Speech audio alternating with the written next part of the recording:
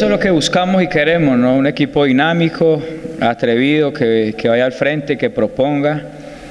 Eh, hemos traído jugadores jóvenes con buena condición técnica y con un requisito, ¿no? que es el que, que tengamos hambre de, conseguir cosas importantes, hambre de, de, soñar, de ganar cada partido, que cada entrenamiento tenga una exigencia y una dinámica que, que ellos han ido entendiendo bien y que es de tiempo, ¿no? vuelvo, insisto. Pero creo que vamos por buen camino, lo importante es hacer valer la localía, hoy los, muchachos lo entendieron y, creo que en, términos generales somos justos ganadores, más allá de que Equidad haya tenido la pelota y el, y el control territorial, no creo que haya hecho los méritos para anotar. Que más allá de que nos metió en campo propio, solo la del penal creo que fue la única situación clara de gol que tuvieron y que, y que Ricardo, gracias a Dios, resolvió.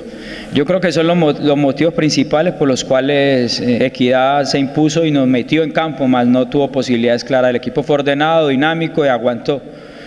Y le rescato eso, ¿no? esa actitud y esa valentía y, aguantar los momentos difíciles. Yo creo que, que, eso es rescatable y meritorio también. No todo el tiempo vamos a, a, ganar teniendo mucho la pelota, generando muchas posibilidades, porque las rivales también al frente tienen hombres importantes y, y creo que la clave del juego estuvo ahí. Y los cambios que entraron intentaron ayudar a resolver esa situación.